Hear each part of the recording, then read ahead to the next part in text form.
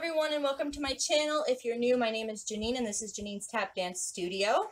In today's video, I'm going to go over what I call running shuffles. Um, I've heard them also called rolling shuffles. So if you don't know what a shuffle is, you should go back and watch my video breaking down shuffles and then come back. You can find the link in the description below.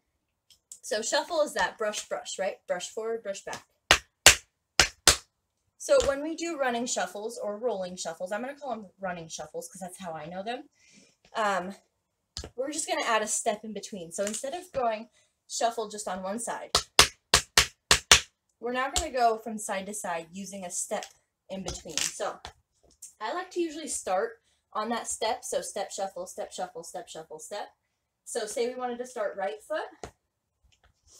You're going to start with your right foot with that step, shuffle, step shuffle, step, shuffle, step. And it's literally just that back and forth. When you replace or when you step down, you want to make sure that you're kind of replacing where your other foot was. So you want to think like step, step, right? You kind of want to end up in the same position.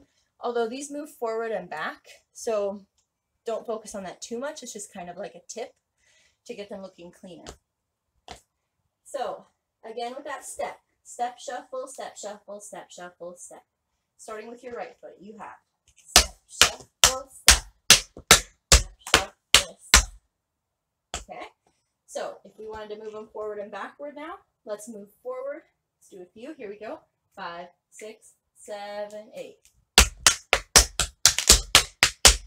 Again, five, six, seven, eight.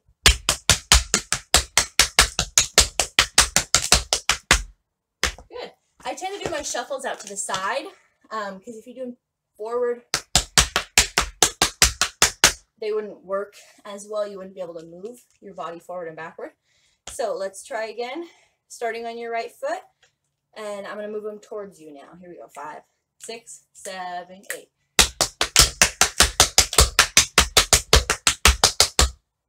Good, nicely done. And then you can also move backwards. So five, six, seven, eight.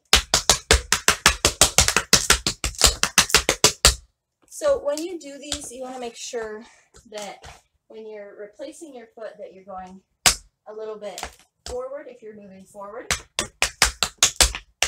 If you're going backwards, you want to make sure that you're replacing your foot a little bit behind you. Okay, now don't get them confused with running flaps. I find that to be the case with my students. Um, instead of doing a full shuffle, they sometimes do the flaps going out.